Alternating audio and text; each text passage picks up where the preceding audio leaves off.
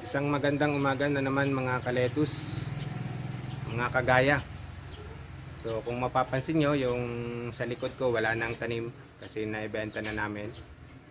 So sa episode na to, ipapakita ko kung paano namin palakihin yung aming mga lettuce.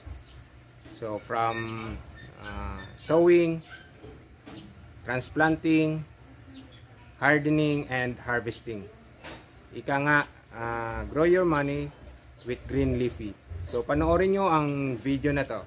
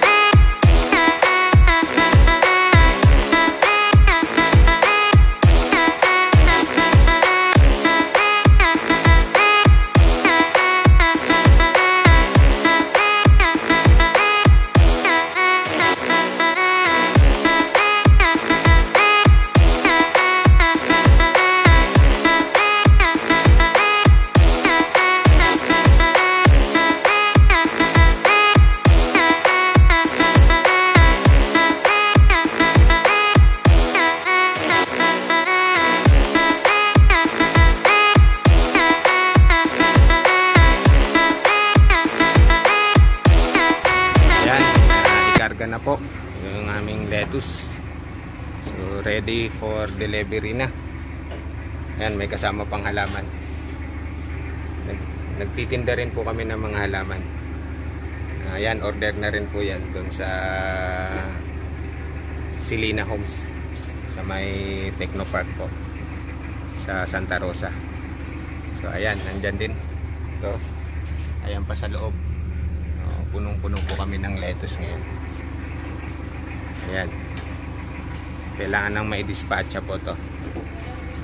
Ah, hindi lang po lettuce, tinitinda namin. Ayan, may halamang halaman po. Tinitinda rin po yung mga halaman na yan.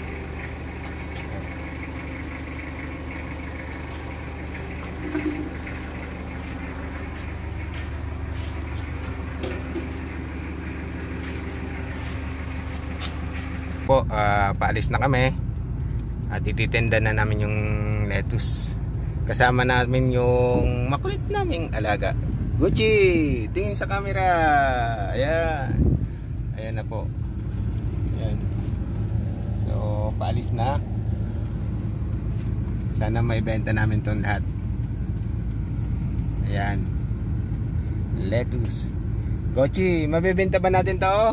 Lahat? Lettuce? Siyempre! One way pala Ayan. dito. On the way na kami sa Santa Rosa. Babagsakan ng lettuce. Kasama ang ating co-pilot. Ang ating driver. Na pogi.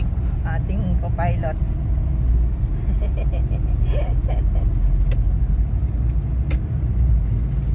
Gucci, tingin na naman. Oh, Huwag mong istorbuhin.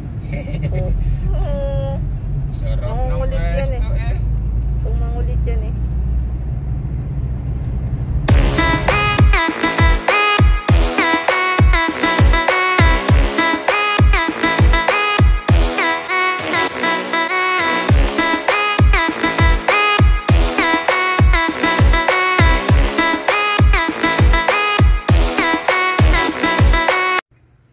Kung inyo pong nagustuhan ang video na to, uh, inanyayahan ko po kayong i-subscribe ang aming channel at i-click na rin yung notification bell para lagi kayong updated.